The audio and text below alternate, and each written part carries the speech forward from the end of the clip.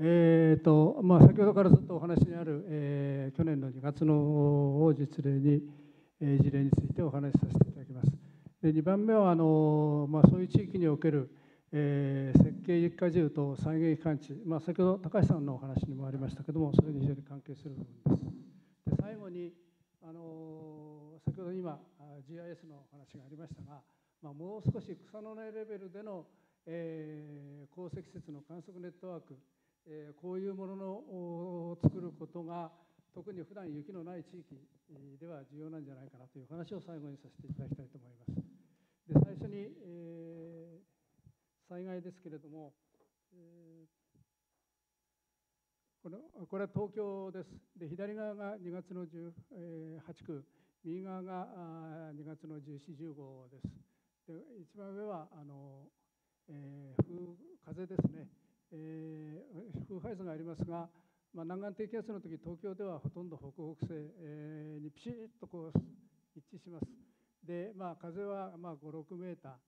ーで大重要なのはこの気温ですね。えー、この日には、えー、0度よりもわずかに、えー、マイナスです。でところが翌1週間後にはわずかにプラスです。で、えー、もに、えー、ピーク、えー、27センチ全く一緒です。しかし降水量は全く違う、まあ、3倍以上の降水があった。で、えー、この降水の後半の部分は気温がわず、えーと、プラスの2度から3度、えー、ですからこれはみぞれからあ雨に変わったあと思われる、えーまあ、こういう大きな、まあ、特徴があるわけですけれどもちょうどその雪が降ってる最中にあの実は都心で、え雪の調査をやる、え簡単なごく簡単な雪の調査をやることができました、え場所は2か所で大手町、えここでやりました。で気象庁がここですからもう気象庁の目と鼻の先です。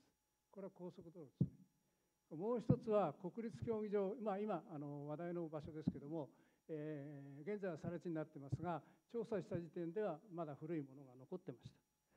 この場所で、えー、調査をしました。あ2回ですね、えー、8日と14日、えー、どんなの調査したかというのをここに書いてありますが、まあ、ああと風速を測ったり、まあ、気温を測ったり、えー、それから積雪深等を測ったあの密度を測ったりということをしました。えー、それでこれはあの気象庁に近い大手町のビルですけれども、えー、このビルの屋、170メーターの高さ屋上と地上と両方で測定しました、まあ、最初の、2月8日は屋上に上がれなくて地上だけでした。でわずかにプラマイナスですね。で積雪密度は130、えー、1週間後は屋上に上がれたんですけれども屋上はマイナス0.8度。で密度が144、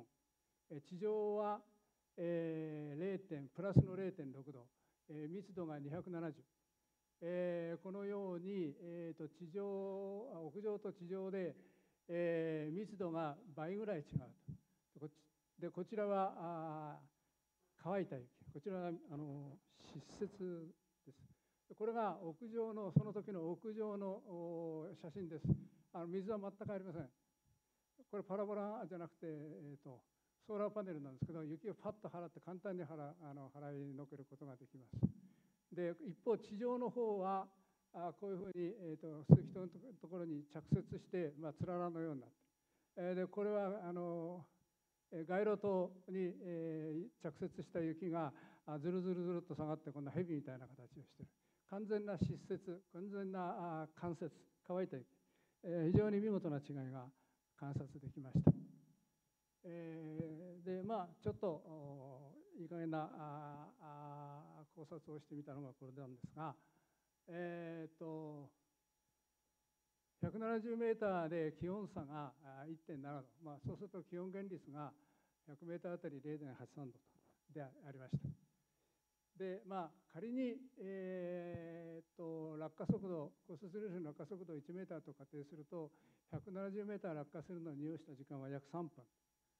えー、で、えーと、その間に、えー、乾いた雪が湿雪化することになりました。でえー、で、えーと、地上の積雪密度、は屋上の密度の約2倍、えー、なので、まあ、仮に極めていい加減に積雪密度が新雪密度、えー、とすればですね、えーまあ、3分の間の落下中に、えー、おおよそ、えー、体積2分の1になった、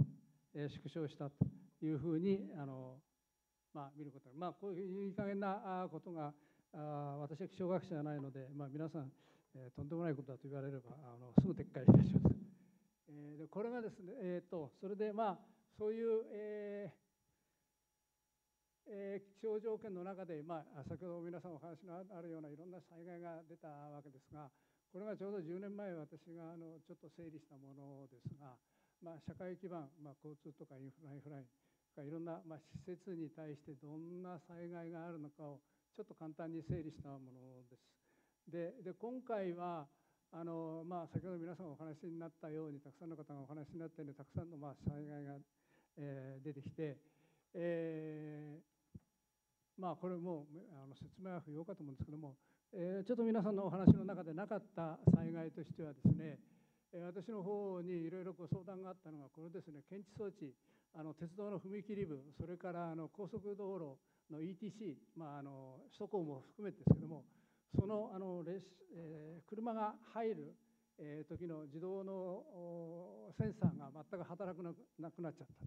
でこれを何とかしたいというような相談が来ました。それからちょっと変わったところでは、まあ、私山梨に週末いるんですけれどもあの停電があって電熱機器とかですねトイレそれから電話が全然使えなくなっちゃったと。で黒電話を引っ張り出してつけたらそれなんとか通じたというような話も、えー、ありまして、えー、こういう被害も、えー、見聞きをいたしました、えー、で被害はまあこのぐらいにしてですね次にあの、えー、設計積雪心のような話をさせていただきますが、えーと、これはあの過去の顕著降雪日、まあ、積雪深 10, えー、と10センチ以上の記録した日に関して、えーと過去の3箇所ですね東京、熊谷、甲府の3カ所の、まあ、気象データある全部に対して、えーと、累計降水量縦軸に取りました。で横軸に過去の順番を入れました、えーと、2本の線がありますが、えーと、降水量そのもの降水開始から、えー、終了までの全部の積算値を入れたのが点線で、えー、実線はですね積雪が地上で開始された以降の降水量。あんまり大きな違いなく、まあ、時々こういう、えー、わずかに、え、差がありますがあこういう順番になりました。それで今回のものはこうですね、えー、ダントツに、え、今年は過去に比べて多かったということです。それと,、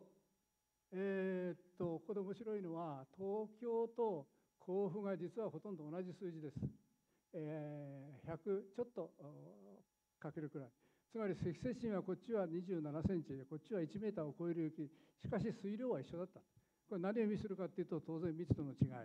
えー、なわけです。で先ほどからサラサラだという話雪がサラサラだったということは密度これ3分の1ですから0.1いってなかった可能性がある、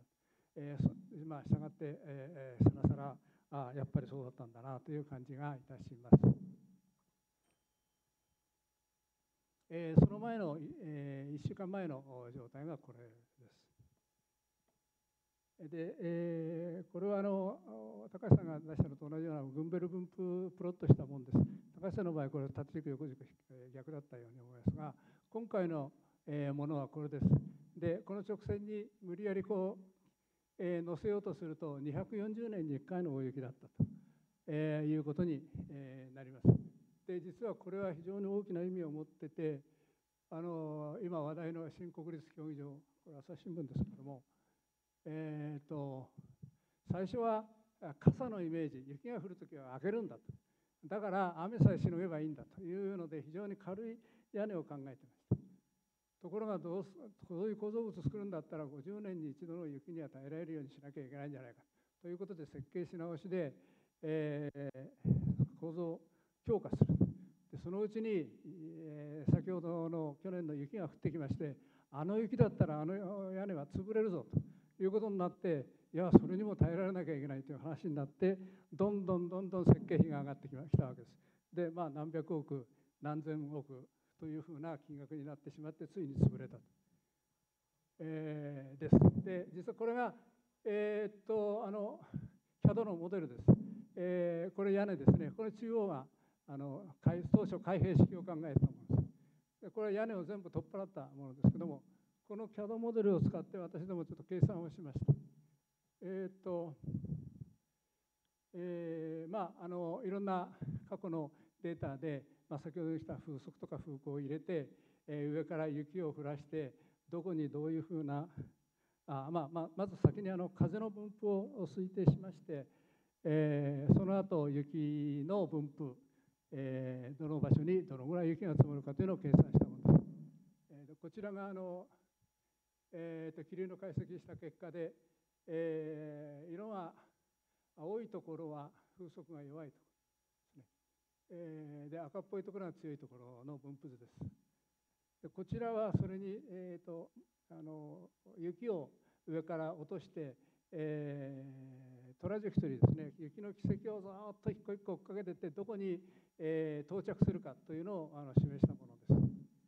えー、こういう計算をして、えー、荷重を計算いたしました。でこの開閉式の部分の半分の部分について計算したのがこれなんですけれどもあの再現値20年50年100年いろいろこうやってみました。でこれが大雪の時のですで50年再現値使うとあ時間ですか。えーと、80から110こういうふうにあの増加いたしましたちょっと急ぎます。で新しいあのこの大雪がもたらした新しい設計問題はあのこういうふうな稀な場所で大雪が降るめったに起きないんですけどもそのリスクマネジメントをどうするかということが新しい問題かなと、えー、それで最もこれ立つ金額で、まあ、よく言われるあのコストベネフィ,、えーとえー、ベネフィット解析ですね。最適解。これをどこに設定するかどうやって見つけるかというのはあ今回の大雪、まあ、大雪に関する、まあ、大きな課題かなと。で最後に、えーと、それを、えーとですね、あの実は10分の1ぐらいしか積雪に測定した場所あの気象庁観測していない、えー、でこれをあの新潟並みのような真似にするにはコストパフォーマンスとにかくめったに雪降らないわけですからもったいない。えー、でそこで市民参加型のネットワークが必要じゃないのかというふうに考えたわけです。でそのためには雪を測れる装置を皆さんに持っていただいて極めて簡単なやつを、えー、これはあのできればタダで配りたい、えー、それで、えー、こうやって測っていただくでそれを雪氷学会の方にこういうデータあとともに、送っていただいてえー、ホームページに載せて見ていただく、えー、品質管理は基本的にやらない、えー、それはもうあのデータの利用者自らがあ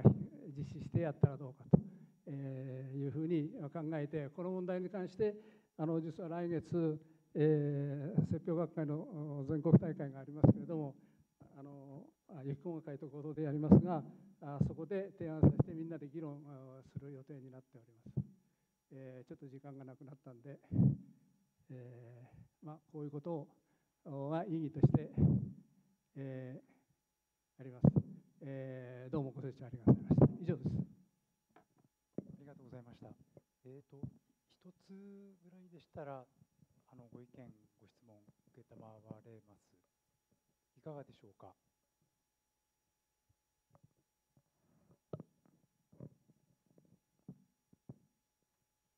最後の方でだいぶお疲れだと思うんですけれども。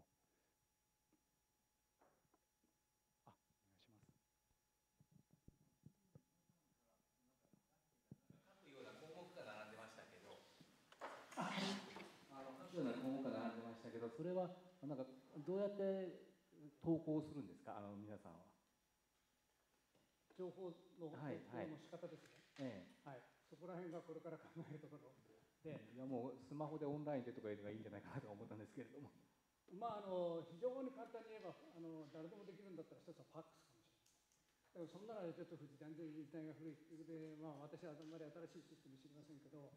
あの基本的にはあのホームページの方にアクセスしてそこに入力していただくとかあるいはあのもう少し、えー、なんですかスマホのようなもので簡単に情報を集められるとか、えー、それは若い人にその辺多分準備する側と投稿する側のその手間のあのトレードオフだと思うんですけど災害の時にあのまあネット使えない人は災害弱者という話が出てただそれに全部対応しようとするとあのやる側が紙を配らなきゃいけないとかその辺トレードオフが多分議論になるんじゃないかと思います。